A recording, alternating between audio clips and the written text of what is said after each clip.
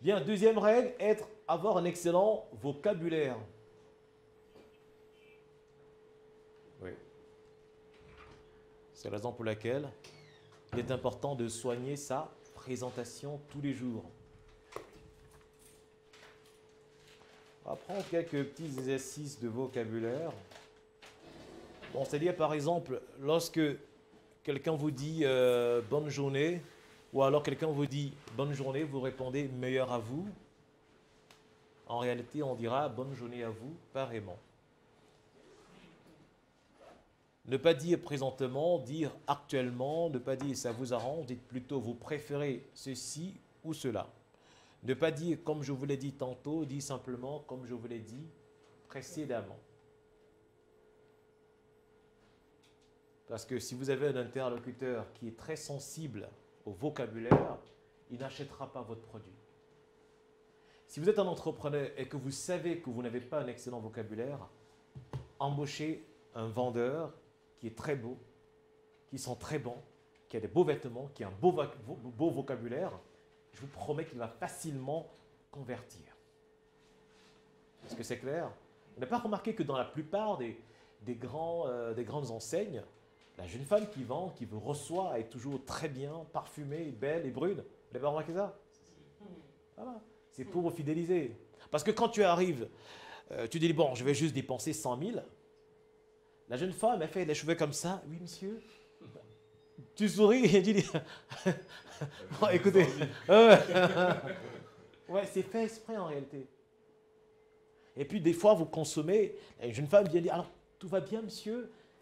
Exprès un peu de... Voilà. Du coup, tu dis, non, écoutez, euh, faites encore la ronde. Donc, rajoutez encore. Pourtant, ce n'était pas prévu. Tout ça, c'est fait en réalité pour vous amener à dépenser.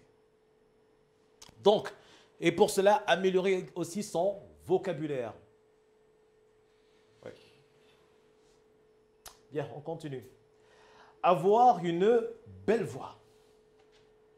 Avoir une Donc imaginez-vous, on vous remet une carte de visite, on vous dit, écoute, euh, là c'est la carte de visite d'un ministre, sa fille se marie demain, donc appelle-le. Alors tu vois un peu le stress que tu as. Tu appelles, tu appelles le ministre. Tu as sa carte de visite. Il attend ton appel. Si tu as une belle voix, il pourra prendre tes gâteaux. Si tu as une voix désagréable, avec un fort accent, avec une mauvaise articulation, il ne prendra pas. Il dira que non, finalement, j'ai changé d'avis. Bien, on va voir quelques méthodes pour avoir une belle voix. On va voir la méthode DIVA. Donc, euh, le dynamisme, l'intonation, le volume et l'articulation. c'est-à-dire que ce sont, c'est une méthode qui vous permettra de bien articuler, de bien prononcer les mots, d'avoir le bon débit. Alors, le, dynamisme ici, en réalité, correspond au, au débit de votre voix. Le D pour dynamisme, il correspond au débit de votre voix. Je vous explique.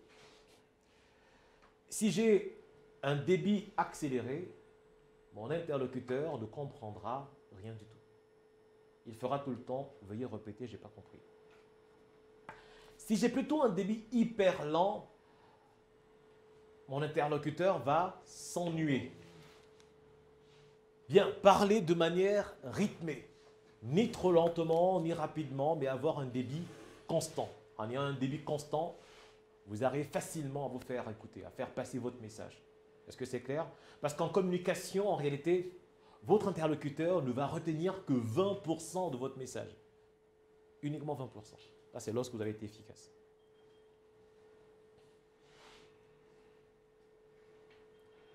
Ensuite, nous allons parler des intonations. L'intonation ici, c'est le temps que l'on prend en parlant ou en lisant, ou simplement la musicalité de notre voix en fonction de nos émotions. Et bien sûr, par synonyme, nous avons l'accent, qui est l'ensemble des caractères phonétiques considérés comme un écart par rapport à une langue donnée. Votre interlocuteur sera sensible à 38%. Vous allez constater que au Cameroun, nous faisons l'effort d'avoir un accent français camerounais. Le gars qui vit au nord, quand il vient au centre ici, il fera l'effort d'avoir cet accent. Celui qui est à l'ouest fera cet effort également. Celui qui est à l'est fera cet effort. Parce que si le monsieur du nord parle avec son accent du nord, est-ce que tu comprendrais?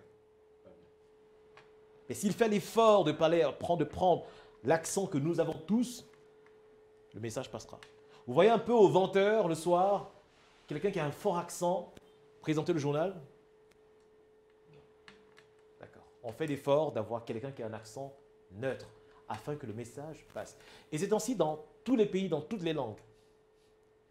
Même au village, le chef, quand il veut s'exprimer, il fait l'effort d'emprunter notre langue maternelle, mais de parler avec beaucoup d'exactitude, de bien articuler, de bien prononcer, d'avoir la bonne intonation qui corresponde à la situation de communication. Est-ce que c'est clair? Donc, pour chaque situation, il faut avoir une intonation. Quand je m'adresse à un client, c'est le ton sympathique et courtois. Il faut éviter de s'énerver. Même si le client pose des questions, évitez de vous énerver. Évitez d'avoir un ton sarcastique. Même s'il a posé deux ou trois questions, restez tranquille, écoutez et répondez. Parce que les clients sont sensibles à quoi? À votre sympathie. Et la sympathie se ressent au travers de quoi? De votre sourire. C'est la raison pour laquelle chacun de nous a ce qu'on appelle un assaut au marché. Parce que assaut est très sympa. Est-ce que c'est clair? Donc soyez sympa. Et cela se ressent au travers de vos intonations.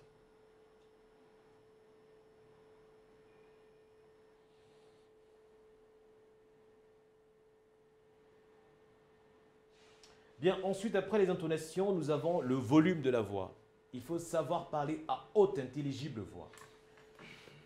Les personnes timides, quand elles sont face à un interlocuteur, elles ont tendance à baisser le volume parce qu'elles manquent de conscience.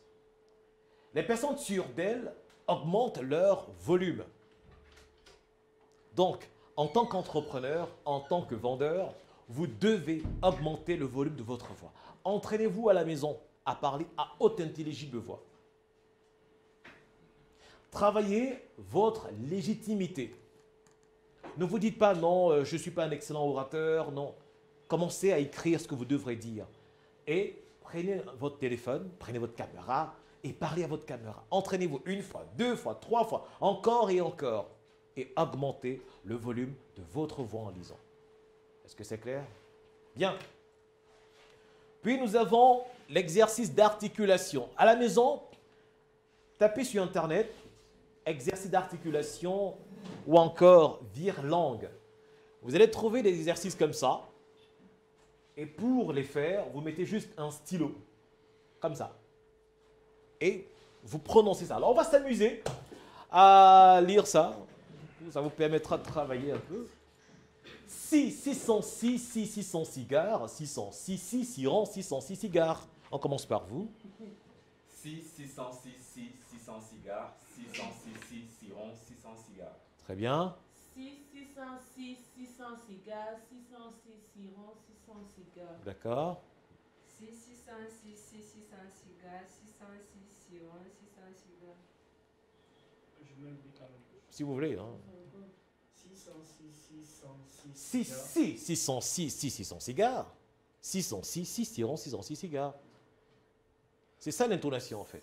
Vous voyez que si vous n'avez pas la bonne intonation, le message ne passe pas.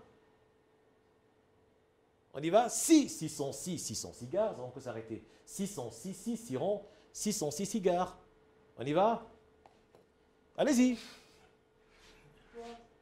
6, 606, 600 cigares. 606, 600, 606. Ouais, que lui, on avait qu'au travers des intonations, on n'a rien compris. Il y a le mot, il y a les mots, mais on n'a rien compris. Suivant.